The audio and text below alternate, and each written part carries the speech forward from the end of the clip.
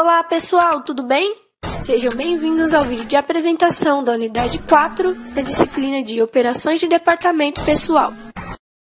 Nesta unidade aprenderemos sobre rotinas trabalhistas.